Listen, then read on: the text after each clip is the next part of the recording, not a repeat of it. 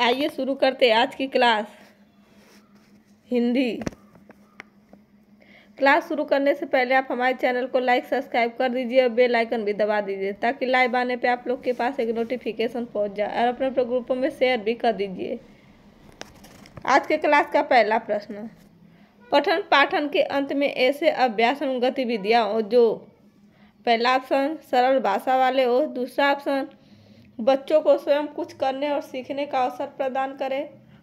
तीसरा ऑप्शन कह रहा है, केवल पाठ से ही संबंधित हो। चौथा ऑप्शन कह रहा है, पाठ और, पाठ पर बिल्कुल आधारित न हो।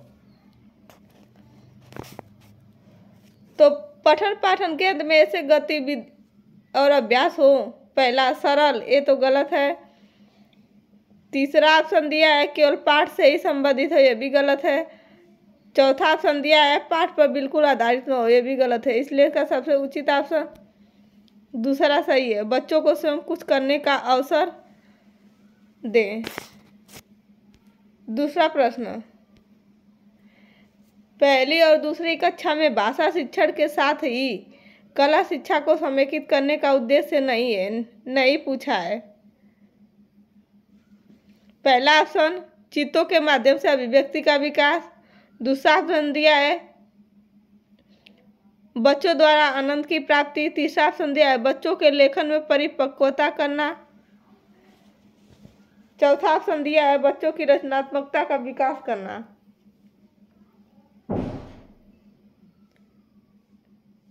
तो पहला ऑप्शन दिया है चित्तों के माध्यम से अभिव्यक्ति का विकास। ये तो सही है। दूसरा ऑप्शन दिया है बच्चों द्वारा आनंद की प्राप्ति। ये भी सही है तीसरा ऑप्शन दिया है, बच्चों के लेखन में परिपक्वता लाना, ये भी, ये गलत है। और चौथा ऑप्शन दिया है, बच्चों की रचनात्मकता का विकास। तो इसका सबसे उचित ऑप्शन तीसरा सही होगा।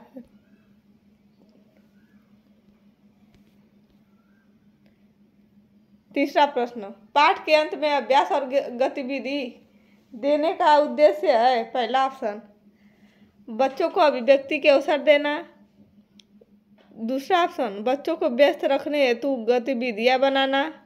तीसरा ऑप्शन दिया है, बच्चों को याद करने हेतु सामग्री उपलब्ध कराने में सहायता करना। चौथा ऑप्शन दिया है, गृह कार्य की सामग्री जुटाना।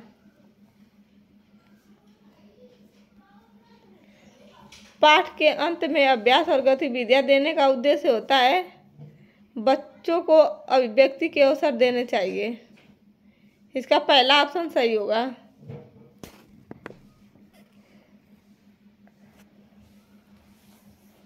चौथा प्रश्न। नाम चामस्की के अनुसार कौन सा कथन सही है? नाम चामस्की। पहला ऑप्शन दिया है, बच्चों में भाषा सीखने की क्षमता जन्मजात होती है। दूसरा ऑप्शन दिया है, बच्चों में भाषा सीखने की की क्षमता जन्मजात नहीं होती है। तीसरा ऑप्शन दिया है, बच्चों में भाषा सीखने की क्षमता है, बहुत सीमित होती है। चौथा ऑप्शन दिया है, बच्चों को व्याकरण सिखाना ज़रूरी है। तो ये तीनों ऑप्शन गलत है। इसका पहला ऑप्शन सही है। बच्चों में भाषा सीखने की क्षमता जन्मजात होती है। पांचवा प्रश्न। लिखना। पहला ऑप्शन एक बेहद जटिल प्रक्रिया है। दूसरा ऑप्शन एक अनिवार्य कुशलता है जिसे जल्दी प्राप्त किया जाना चाहिए। तीसरा ऑप्शन दिया है एक तरह की बातचीत है। चौथा ऑप्शन एक अत्यंत यांत्रिक प्रक्रिया है। तो लिखना पहला ऑप्शन दिया, एक बेहद जटिल प्रक्रिया, ये भी गलत है। दूसरा ऑप्शन दिया, एक अनिवार्य कुशलता जिसे जल्दी से प्राप्त किया जाना चाहिए, ये भी गलत है। तीसरा ऑप्शन दिया, एक तरह की बातचीत है, ये ऑप्शन सही है। चौथा ऑप्शन देखते हैं, ये अत्यंत यांत्रिक प्रक्रिया, ये भी गलत है, इसलिए इसका सबसे उचित ऑप्शन तीसरा सही होगा। छठवा प्रश्न, कक्षा एक और दो के शुरुआती समय में पढ़ने का प्रारंभ डाट डाट डाट से हो से हो और किसी डाट डाट के लिए हो। पहला ऑप्शन दिया है, अर्थ एवं उद्देश्य। दूसरा ऑप्शन दिया अक्षर ज्ञान और मनोरंजन। तीसरा दिया शब्द पहचान और मूल्यांकन। चौथा दिया अक्षर ज्ञान उद्देश्य।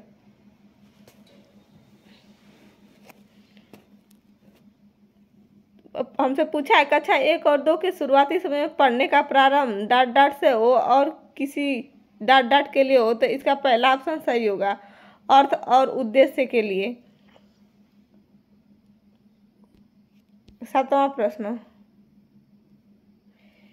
इनमें कौन सा प्राथमिक स्तर पर हिंदी भाषा शिक्षण का उद्देश्य नहीं है? नहीं पूछा है। पहला ऑप्शन दिया है संदर्भ के अनुसार लगातार पढ़ने का प्रयास करना। दूसरा ऑप्शन दिया चित्रकारी को स्वयं की अभिव्यक्ति का माध्यम बनाना। तीसरा ऑप्शन दिया बच्चों की भाषा और स्कूल की भाषा में संबंध बनाते हुए उसे विस्तार देना। चौथा ऑप्शन दिया सुनी गई बातों का, ज्यों का त्यों दोहराना। दोहराना वैसे भी गलत है। तीनों ऑप्शन सही है, चौथा ऑप्शन गलत है, सुनी गई बातों को, ज्यों का त्यों दोहराना। दोहराना का मतलब रटना। आठवां प्रश्न।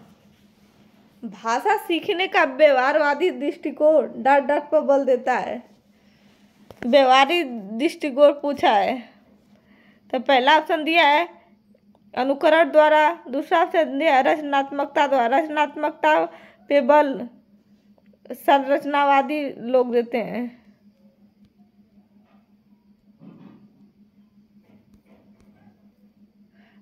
तीसरा दिया है, भाषा प्रयोग।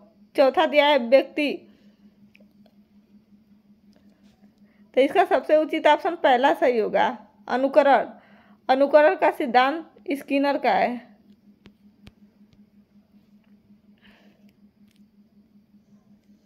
नौवा प्रश्न। प्राथमिक स्तर पर हिंदी भाषा शिक्षण के लिए सबसे अधिक महत्वपूर्ण क्या है? पहला ऑप्शन दिया है, भाषा प्रयोग के अवसर। दूसरा ऑप्शन दिया है पाठ्य पुस्तक तीसरा है। उच्च स्तरीय तकनीकी यंत्र। चौथा है। व्याकरण के नियमों का स्मरण। स्मरण वैसे भी गलत है। पाठ्य पुस्तक केवल पाठ्य पुस्तक पे ही आधारित नहीं होता। हिंदी का शिक्षण ये भी गलत है। तीसरा ऑप्शन दिया है। उच्च स्तरीय तकनीकी यंत्र ये भी गलत है। इसलिए इसका सबसे उचित ऑप्शन पहला सही होगा। भाषा प्रयोग के अवसर। दसवां प्रश्न।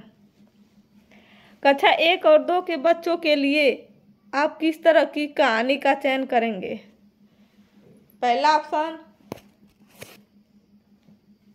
जो बहुत छोटी हो, ये तो गलत है। दूसरा ऑप्शन दिया है, जिसमें बहुत सारे पात्र हो, ये भी गलत है। तीसरा ऑप्शन जिसमें दो दो ही पात्र हो, ये भी गलत है। चौथा ऑप्शन करा, जिसके शब्दों, वाक्य और घटनाओं के वर्णन की शैली चित्रात्मक हो। ये ऑप्शन सही है। इसलिए इसका सबसे उचित ऑप्शन चौथा सही है। ग्यारहवा प्रश्न, किस विद्या के शिक्षण के समय आप मौन पाठन को महत्व देंगे?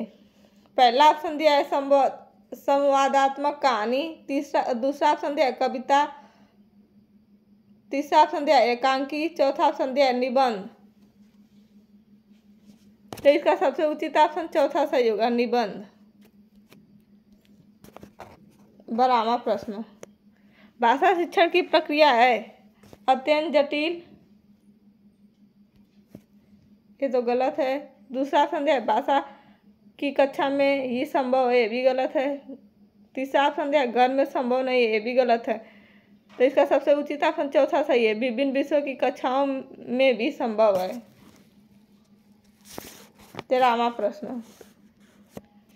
कविता शिक्षण में आप सर्वाधिक महत्व किसे देंगे? पहला ऑप्शन कविता में अलंकारों की पहचान। दूसरा ऑप्शन कविता का भाव विश्लेषण। तीसरा ऑप्शन कविता के तत्वों के आधार पर उसकी समीक्षा। चौथा ऑप्शन कविता का भावपूर्ण पाठन और रसानुभूति।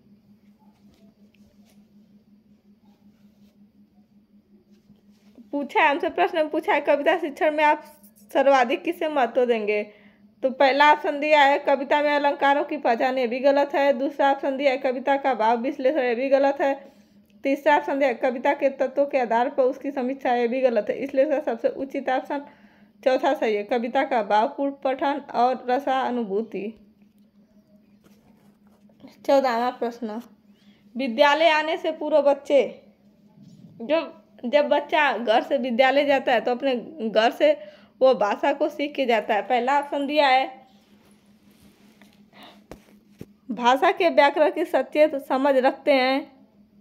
दूसरा दिया है। भाषा बिल्कुल भी ज्ञान नहीं रखते हैं। ये तो गलत है। तीसरा संधि अपनी भाषा में समझने, समझाने की कुशलता से लैस होते हैं। चौथा संधि सभी भाषाओं में पूर्ण दक्षता होती है। ये तो गलत है। इसका सबसे उचित ऑप्शन तीसरा सही है। अपनी भाषा में समझने, समझाने की कुशलता से लैस होते हैं। जब बच्चा विद्यालय घर से विद्यालय जाता है तो वह अपनी मातृभाषा के साथ विद्यालय में प्रवेश करता है। पंद्रहवा प्रश्न सस्वर पठन का मुख्य उद्देश्य है। पहला ऑप्शन बच्चों की पढ़ने संबंधी झिझक को समाप्त करना। दूसरा ऑप्शन बोल बोल कर पढ़ना। तीसरा ऑप्शन द्रुत गति से पढ़ पढ़, पढ़ना। चौथा ऑप्शन दिया है, मौन पठन करना। सस्वर पठन का मुख्य उद्देश्य होता है बच्चों को पढ़ने संबंधी झिझक को समाप्त करना। इसका पहला ऑप्शन सही होगा।